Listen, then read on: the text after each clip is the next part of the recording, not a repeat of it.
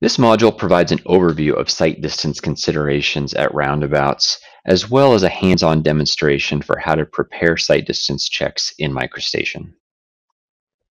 There's a couple different sight distances that need to be verified at any roundabout.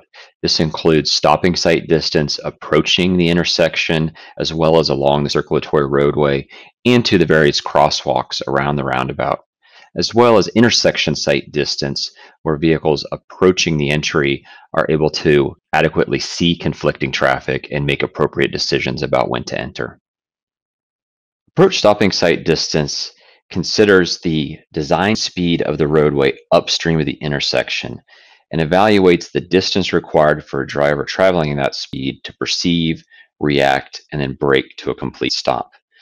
The stopping sight distance we're considering is the sight distance to both the crosswalk on the approach as well as to the yield line to make sure that drivers are able to adequately see and react to both of those elements of the design and be able to come to a complete stop prior to entry if necessary. Where we have horizontal curvature on the approaches, the sight lines need to be able to be unobstructed through the medians and various elements of the approach reverse curvature to make sure that we can still see again the crosswalk and the yield line on those approaches. The same where we have right turn bypass lanes. In this case, there's an exclusive lane that feeds in as a yield control bypass. We need to be able to make sure that the outside areas of the curb line provide adequate uh, clear sight lines to that yield point and to the crosswalk on the approach. Additionally, we want to make sure that appropriate stopping sight distance is available for vehicles making right turns that they have an appropriate sight line to see and react to pedestrians on the downstream exit. Around the circulatory roadway, we also need to verify that vehicles following the R4 fastest path around the central island have appropriate stopping sight distance across the central island to be able to see and react to vehicles or objects maybe on the road in front of them. In this case, the sight triangle distance from the edge of the triangle to the edge of the truck apron would be the width around the entire central portion of the island that would need to be maintained clear with low growth landscaping in order to preserve the sight lines. Anything outside of that area could be higher growth landscaping in order to provide enhanced visibility of the central island and the intersection. The GDOT Roundabout Design Guide Appendix D2, as well as NCHRP Report 672, provide a formula for calculating stopping sight distances. In this equation, V is the speed of the vehicle.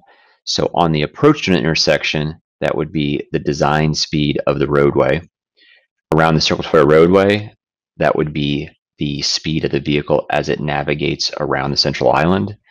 And for the crosswalk considerations, that would be the speed of the vehicle as it's making a right turn along the fastest path.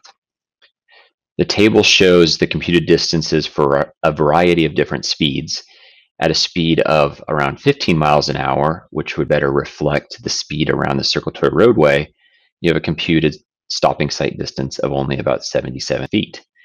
However, at a higher speed, say 55 miles an hour, reflecting a higher speed roadway approaching an intersection, you would need a stopping sight distance closer to 500 feet upstream of the crosswalk or yield line for a vehicle to be able to see and react to those elements of the roundabout. Stopping sight distance also needs to be considered related to the vertical profiles approaching the roundabout. In this particular example, a steeper approach grade has been flattened out near the roundabout entry in order to reduce cross slopes through the crosswalk area to meet ADA. In the process, the sight lines to the yield line and to an object near the yield line have actually been blocked where the vertical profile is blocking the driver's line of sight. So that's something that needs to be evaluated and reviewed relative to the vertical profiles and relative to the grading of the overall intersection as the vertical design is being developed. Intersection sight distance is the distance required for a driver approaching the yield line to be able to see and react to conflicting traffic streams.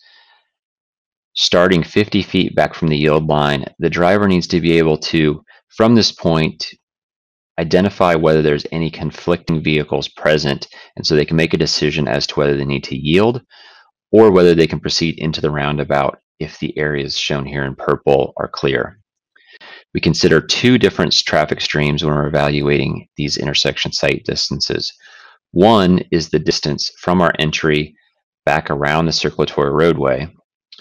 The other is from the entry and then up the adjacent uh, leg of the roundabout.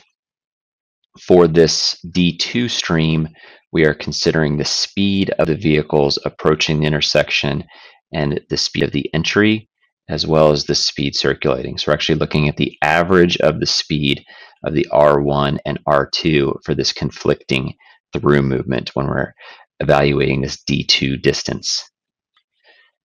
GDOT considers this a maximum sight distance case where you would have unconstrained conditions and you're able to accommodate sight lines for this full D2 movement. In some situations, you may have a sight constraint like a guardrail or bridge abutment in the corner of the intersection that may limit the practical intersection sight distance that can be achieved. For those situations, GDOT has developed a minimum sight distance criteria that still looks at a 50 foot back from the yield line starting point for the vehicle, still looks at our same D1 distance around the circulatory roadway for those conflicting vehicles. But when looking to the upstream leg of the intersection, we're only looking 50 feet upstream of the entry on that next adjacent leg. So this creates a slightly smaller sight distance triangle consideration which limits the additional space that's needed in the corner of the intersection here. So this would be your minimum sight distance criteria. GDOT's preference is that the actual sight distance falls somewhere between the minimum and the maximum. And so you would need to calculate both cases of sight distance and then also identify what the specific sight distance that your project site could provide based upon the constraints in the adjacent properties surrounding the intersection. Appendix D2 provides formulas for computing the required intersection sight distances. We look at the two different traffic streams and compute the distance based on the speed of those conflicting vehicles. For the first distance, D1, we're considering the conflicting through movement from the adjacent cross street. We're looking at the average of the R1 entry speed and R2 circulating speed for that through movement. The other path we're looking at is the distance along the circulatory roadway. For that, we're going to look at the R4 fastest path speed for a vehicle making a left turn past our entry. These formulas result in the computed distances shown in the table for a 15 mile per hour speed, which would be roughly representative of your circulating speed that you might use for a D2, you would have a computed distance of approximately 110 feet. Double that speed and you get double the computed distance, closer to 220 feet. This helps to reinforce another reason why we might want to have slower speeds and speed management through the intersection to be able to provide for those operations and safety, but also to be able to make sure that vehicles are able to adequately see other vehicles that are conflicting and provide appropriate intersection sight distance without requiring big swaths of the corners to be remaining clear. Intersection sight distance checks are constructed utilizing the B-splines prepared as part of the fastest path checks. So you actually need to uh, complete your fastest path checks prior to proceeding into your intersection sight distance checks. The red and green lines representative of D1 and D2 are actually clips of our fastest path B-spline that have been trimmed to the length of our sight distance lengths calculated from the formulas in the previous slide. For D1, we use the average of the R1 entering speed and R2 circulating speed to come up with the average speed along this path. and that was used to compute this distance. So the fastest path for the through movement along the side street was trimmed from the extension of our entry back up the adjacent leg that computed intersection sight distance.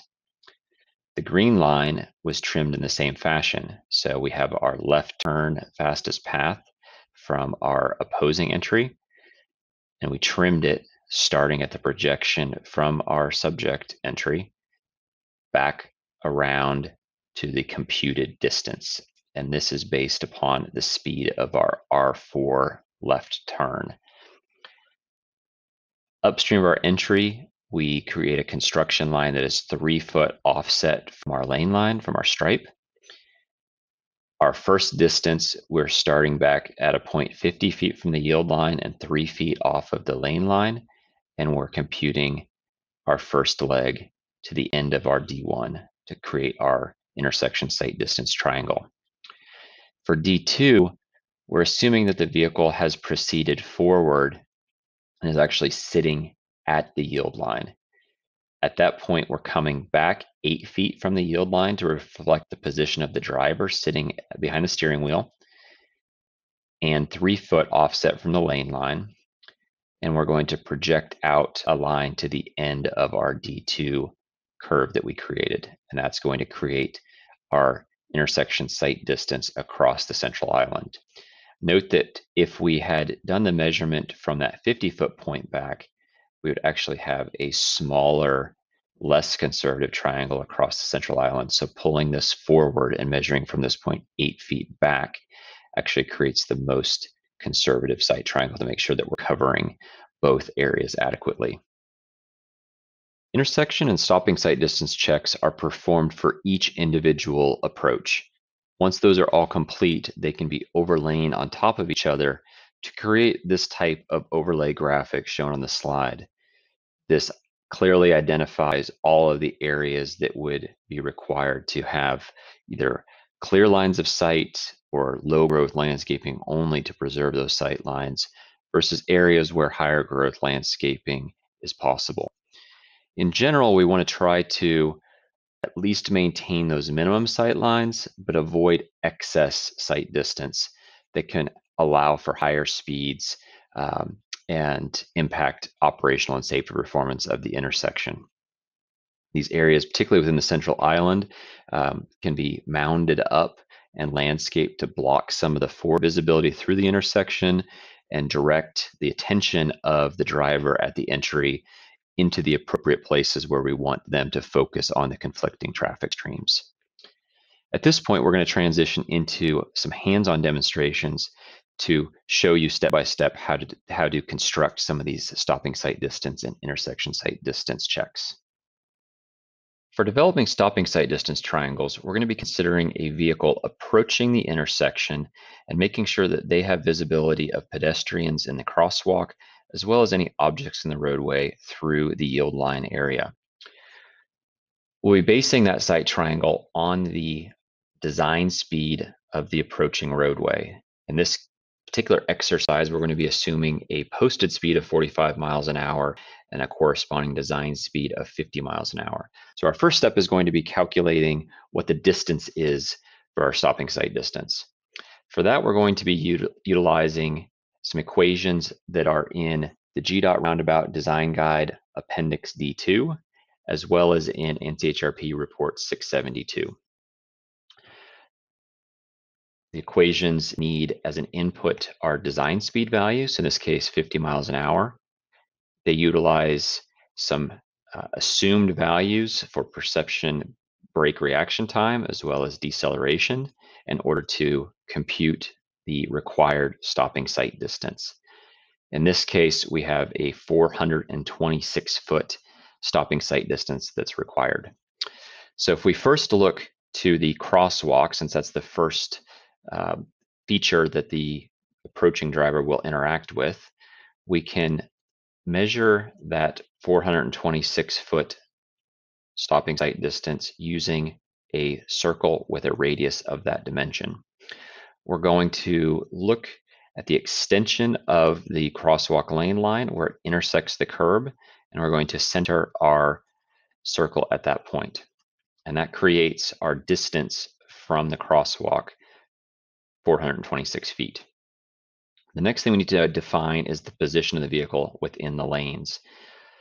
We're going to assume that the vehicle is going to be in the outside lane. That's going to give us the most conservative sight line along the outside curb line. So if we assume the vehicle is in the inside curb line, they would require um, less of a clip along the outside curb for sight distance purposes. We're going to assume that a vehicle in that outside lane is going to be roughly centered within the lane. These are 12 foot lanes, so we're going to offset six feet from the lane line. If you had a narrower lane, you would use a different distance that was reflecting roughly half the width of the lane. So this point now reflects the starting position. We're going to place a line at that start position, and then we're going to extend that over to the projection of the near lane line of the crosswalk where it intersects with the curb face. And that is that red line is now our intersection sight line to the crosswalk. So we would need to see across the lane lines here. And then as we get to this entry curve, we would need to be able to see across this portion of the landscape area between the crosswalk and the back of curb. And so this would need to be kept as low growth landscaping or sod in order to make sure that the sight line to the crosswalk is preserved. Next, we're going to look at the sight line to the yield line. And for that, we're going to look at the midpoint of the entry at the point where it intersects the yield line. Here we have a 30 foot overall entry width. And so we're going to offset this 15 feet. We'll offset the outside lane line 15 feet to the center of the lane. If you had a different lane dimension, you would be offsetting a different dimension to make sure that you're finding the center of the lane at that intersection point. We're going to use the same circle with the same 426 foot radius. We're going to center the circle on that midpoint of the yield line. And that created a new construction line for us. We're going to still assume that the position of the vehicle is going to be in the middle of the outside lane. And we'll create a second sight distance triangle using the midpoint of the lane with our new circle as the starting point. And then we're going to snap that to the center of our yield line. So once we have those, we can delete some of our construction lines.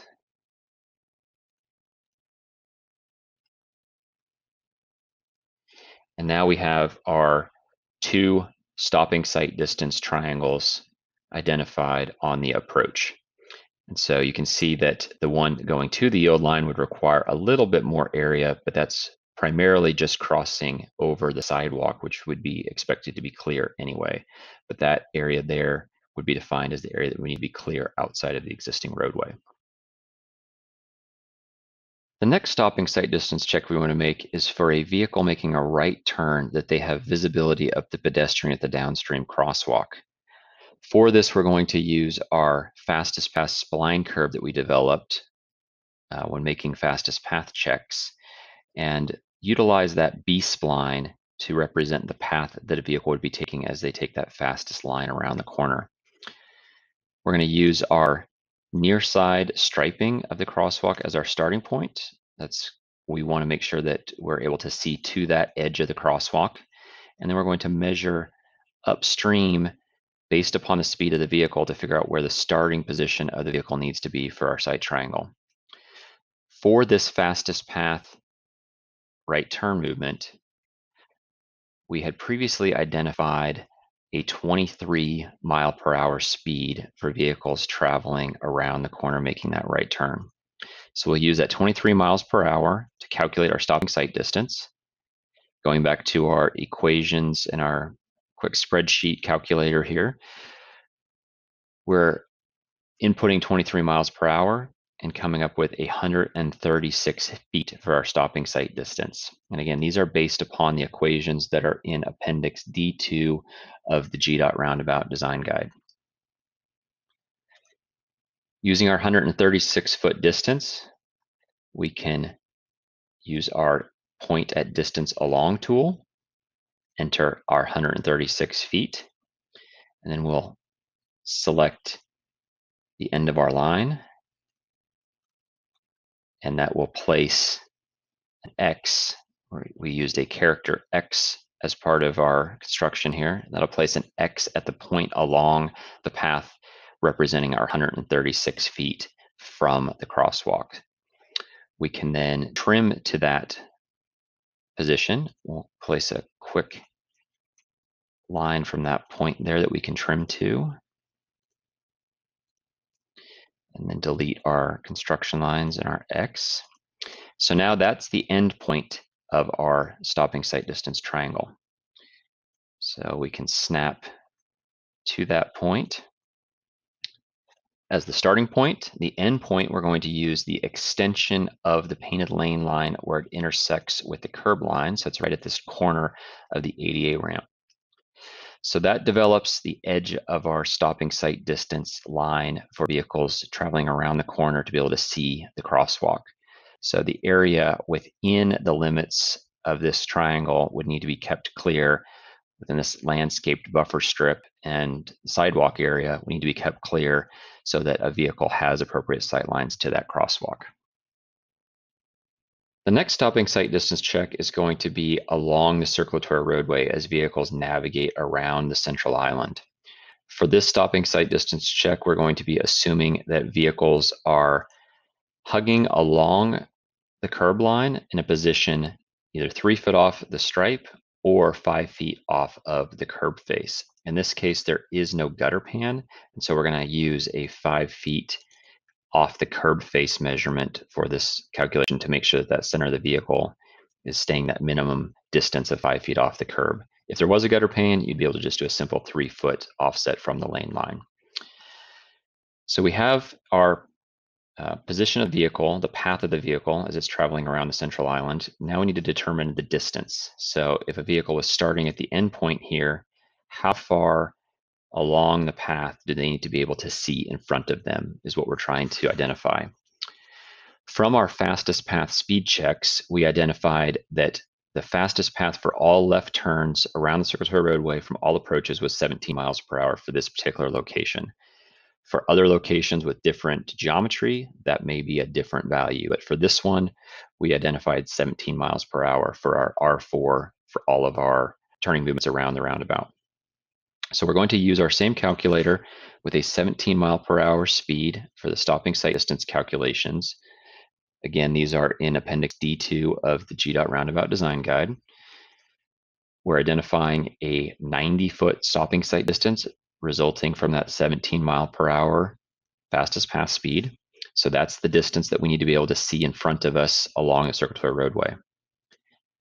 Using the point at distance along tool, with a distance of 90 feet.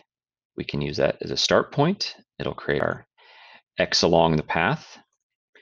And then we can be able to create a line at our start position to our X position. And so that is the sight line that a driver needs to be able to see downstream, which basically is crossing over the truck apron at all points and would be expected to be a clear sight line um, through this portion of the circulatory roadway. We need to check at a minimum of four points around the central island to establish those sight triangles around the perimeter.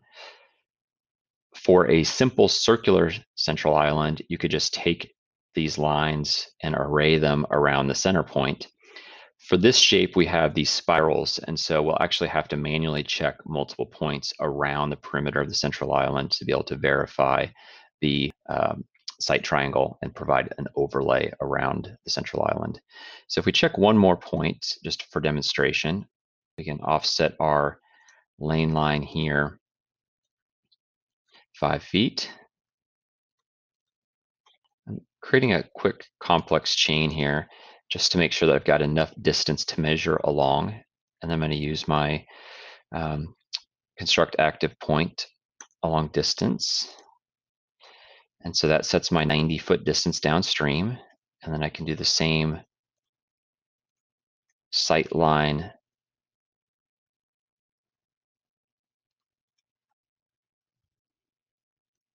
to create my sight triangle.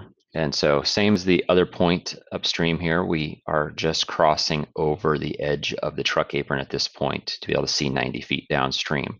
So you repeat this process at multiple points around the central island in order to be able to verify the sight distance requirements and make sure that if there's any encroachment around the landscape area, that those areas can be flagged for low growth landscaping only. When evaluating intersection sight distance, we're considering vehicles approaching the intersection that are heading towards the yield line. Prior to reaching the yield line, the driver needs to be able to look to their left to see if there's any conflicting traffic circulating or coming from the upstream entry.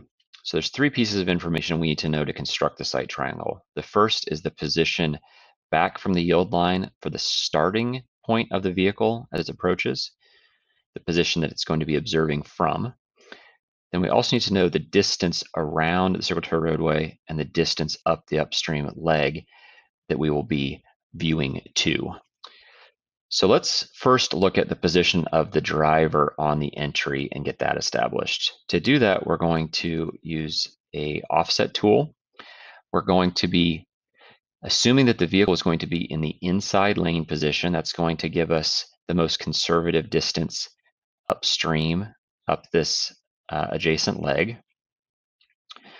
And then we're going to be assuming that they're hugging the splitter island and kind of following that uh, fastest path criteria where there would be five feet offset of a curb or three foot offset of the lane line. In this case, we have a two foot gutter pan, so we have the same dimension whether we're offsetting from the curb face or the lane line. So I'm just going to use a three foot offset from the lane line here. And we'll offset this little tangent piece at the end as well. And then we'll extend that reference line to intersect with our yield line. Once we have that, we're going to establish our position back. We're going to assume that the driver is initially starting 50 feet back from the yield line as they're looking towards this upstream entry. So if we place a circle with a radius of 50 feet, we can intersect that at the yield line. And then we can trim our construction line here to set the end of that line as our 50 foot starting position that the driver is viewing from. When looking across the central island, we want to assume that the driver has pulled forward and is sitting at the yield line. So if the front of the vehicle is at the yield line, a driver is going to be sitting behind the steering wheel a little bit further back. And we're going to assume that position of the vehicle position of, the driver within the vehicle is eight feet back. So we'll set another circle with radius eight feet. And then we can use our tool here, construct line at active angle from the drop-down menu. We can set that at uh, zero and use that to construct a line that we can use as a reference point. So it just gives us our starting position along that line for a vehicle looking around the around the central island for vehicles conflicting along the circular roadway. The reason we use this position closer to the yield line is it gives us a little bit more of a conservative view. Let's say this is the distance that we need to look around the circular roadway. If we were to instead look from a position 50 feet back, you can see that the sight line that'd be required would kind of clip the edge of the truck apron, whereas a driver that's pulled farther forward actually needs to see across the truck apron. So this closer position is actually slightly more conservative, and we want to make sure that we're capturing that so that a driver that is stopped at the yield line itself has adequate sight lines all the way around the central island. So the next step is going to be looking at the distance that the driver needs to be looking upstream. To do that, we're going to turn on our B-spline that was developed for our conflicting through movement fastest path. The first thing we're going to do is establish the start of the distance. And to do that, we're going to create a line from our intersection here to a point tangent to the central island. And then we're just going to trim off the end of our B-spline. So this reference point becomes our starting point for measuring our distance. The next thing we need to know is how far upstream we need to be able to see up this spline curve that's reflecting the driver fastest path. To get that distance, we need to know the speed of vehicles. So we'll be looking at the average of the entry speed, so the R1 speed, and the average of the R2 speed along that curve. I've copied our fastest path speeds that was done as part of a prior step so that we have those handy. For our conflicting through movement, we had an R1 speed of 23 miles an hour and an R2 speed of 20 miles an hour. So the average of the entering and circulating speeds is going to be 21 and a half miles an hour. So the average of 20 and 23. Once we have that information, we can go in to a spreadsheet tool or use the equations straight out of the GDOT roundabout design guide or NCHRP report 672 both have the same equations in them and be able to use our 21.5 mile per hour average speed for that conflicting movement and calculate the distance. In this case, we end up with a intersection sight distance of 158 feet that's needed upstream. So going back to our line here, we can be able to utilize the tool point at distance along.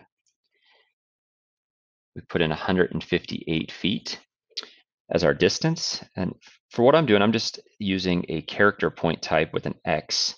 And if I select at the beginning of my B-spline, it's going to place a point at that distance along my path. This character ends up being a fairly large little block, but if I just take a tool and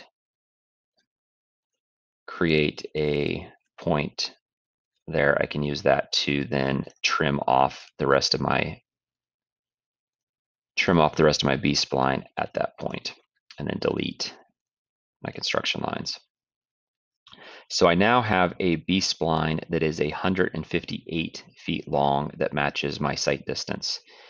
And at that point, I can snap to my starting position where the vehicle is viewing from, and then snap to my ending position where they need to be able to view to.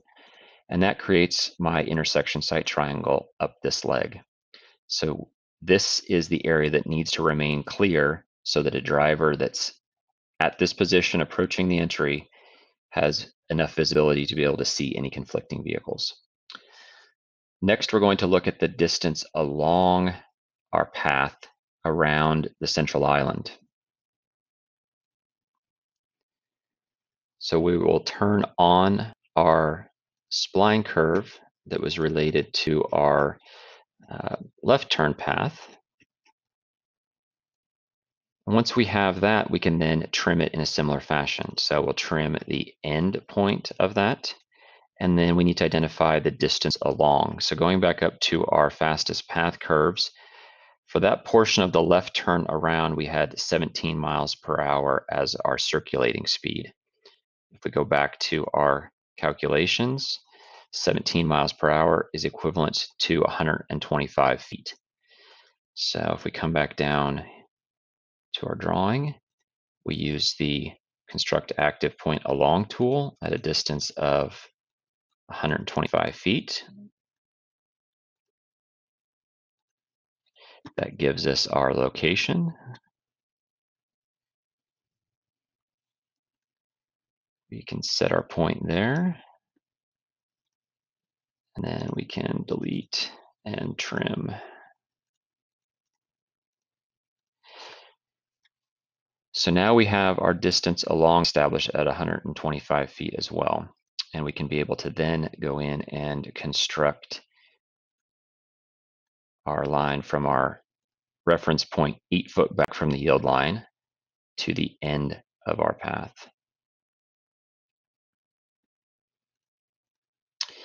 And so this is the portion within the central island across the truck apron that you need to be able to see across. Note that the intersection sight triangle for this approach did not get into any of the central island landscape areas, just cutting across the edge of the truck apron.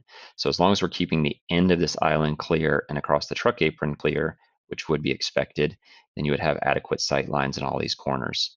This would be the the only other area that we need to be kept clear is right on the corner um, southbound. So if there's any landscaping or anything in there on that corner, it need to be sod or low growth landscaping to avoid any obstructions.